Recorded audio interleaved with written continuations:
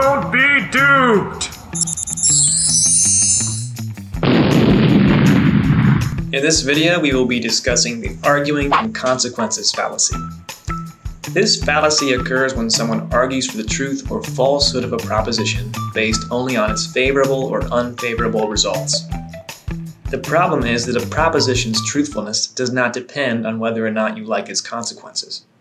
Something may be true even if it has consequences we don't like, and something may not be true even if it has consequences that we do like. You might not like the bees sting, but that doesn't mean that they don't. A goose that laid golden eggs might be great for your bank account, but that doesn't mean that geese can lay golden eggs. It's important to point out that referring to consequences in an argument is not always fallacious. There is a difference between arguing that something is bad because it has bad results and arguing that something is false because it has bad results. For example, someone could argue that if candidate X is elected president, the results will be bad for the country. Therefore, people should not vote for candidate X. While this argument includes an appeal to consequences, it is not fallacious. The person is simply using alleged negative consequences as a reason to not do something. This would be like arguing that you shouldn't touch poison ivy because it will give you an itchy rash, a perfectly logical line of reasoning.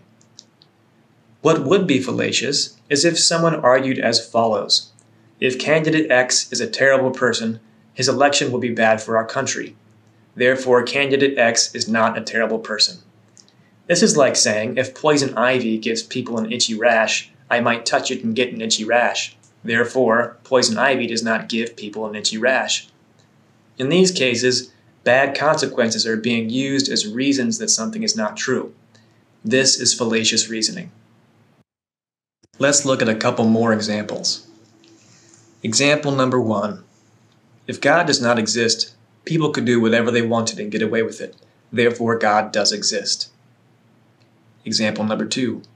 If God does exist, everything is predestined, and I can't choose my own destiny.